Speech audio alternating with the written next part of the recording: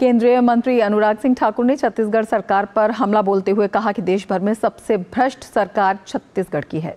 वहीं केंद्र सरकार की तरफ़ से छत्तीसगढ़ को लगातार सहायता मिल रही है।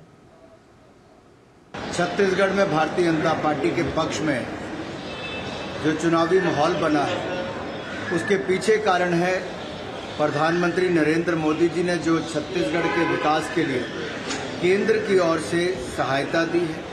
एक के बाद दूसरा बड़ा प्रोजेक्ट दिया है। यहाँ के किसानों के लिए एक लाख करोड़ से ज़्यादा धान की खरीद के लिए उपलब्ध करवाए हैं। वहीं दूसरी ओर जनता त्रस्त है सांप्रदायिक तुष्टिकरण की। और ऐसा लगता है कि यहाँ की सरकार तुष्टिकरण से ग्रस्त है और जो देश भर में अगर सबसे भ्रष्ट सरकार कहीं पर कही जाए तो छत्तीसगढ़ में है।